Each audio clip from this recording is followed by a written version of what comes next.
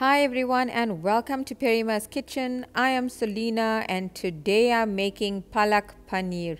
It's such an awesome vegetarian dish that you will absolutely enjoy. It's nutritious, it's delicious. You can enjoy it with a big salad, with basmati rice, with roti, with naan, with chapatis. Let's get to it. I've added a tablespoon of oil to my pot together with a heaped teaspoon of crushed garlic.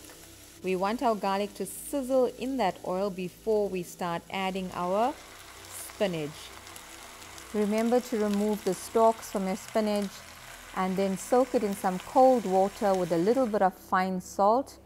You then can rinse off and add it to your pot. And today I'm using approximately 350 grams of spinach. Remember it's going to wilt down after about 5 to 10 minutes. It's reduced perfectly and I'm now going to transfer all of my spinach into a bowl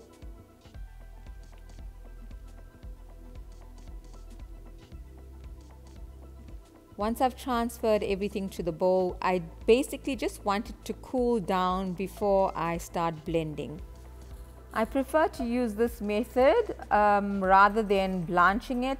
I feel that all these nutrients that we have, all this water can be added as opposed to when blanching you are then throwing away all of the water.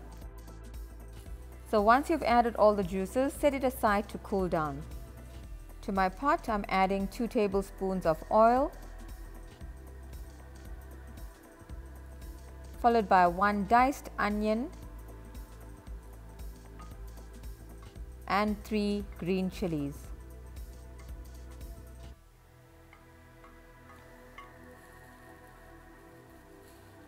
Saute your onions in the oil and once it's slightly translucent, we can then proceed to add the rest of our spices and we are not adding a lot of spices. First, a heaped teaspoon of crushed ginger and garlic,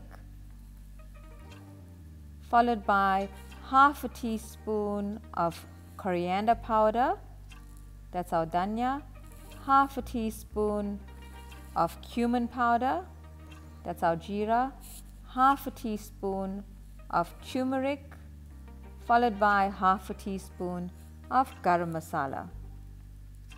I'm also adding a quarter teaspoon of ilachi powder, that's our cardamom. Mix it on a low heat and then we can proceed to add tomatoes. I'm using two diced tomatoes. My suggestion is either take off the skins or liquidize or grate them. We're going to close our lid and let it simmer on a low heat while we start our blending.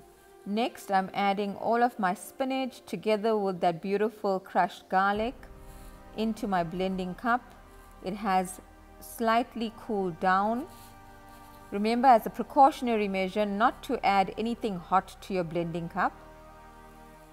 Once you've added all your spinach, don't forget the rest of those juices as well and depending on how spicy you'd like it, I'm adding one chili as well. Once blended, we can leave it aside for a few minutes while we are frying our paneer. Add a tablespoon of oil to your pan.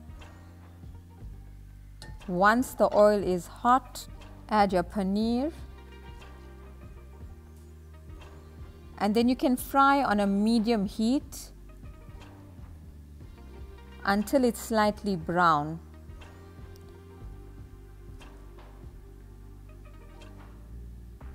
So make sure you keep turning them over so they brown evenly on all sides.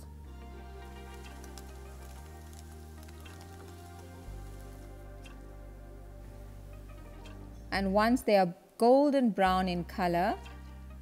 You can then add some butter And if you want a very buttery paneer, you can add more than a teaspoon. Today I'm just adding half a teaspoon. Give it a couple minutes to sizzle in the butter as well so it absorbs all of that butter flavor. And then we can set it aside. Coming back to our pot, we are now going to add our blended spinach. Make sure to rinse that blending cup with some water, add some water in it and empty everything into your pot as well.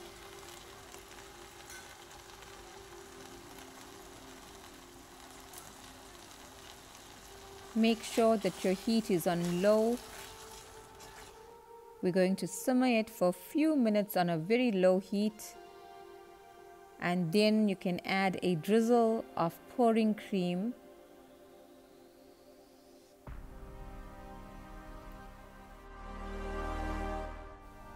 This is approximately a tablespoon and a half of pouring cream, not a lot. Mix it into your spinach Again, keeping your heat on low. Mix it thoroughly. And now we can add all of our fried paneer.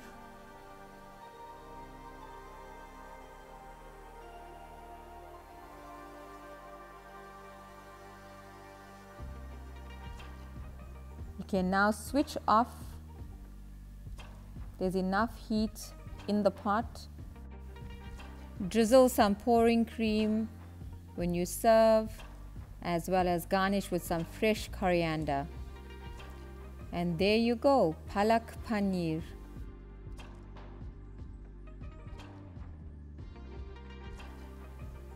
Mouth-watering, delicious, flavorful are only a few words to describe this heartwarming meal.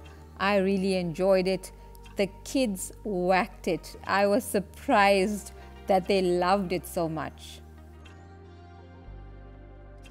As usual, all the ingredients used will be found in the drop down description below. Please subscribe. Kindly hit the notification bell so you are notified when a new video is uploaded. Please like and share. And I'm enjoying the comments so much. Thank you so much to everyone for commenting. I sincerely appreciate it. Lots of love from myself, Selena, and Perima's Kitchen.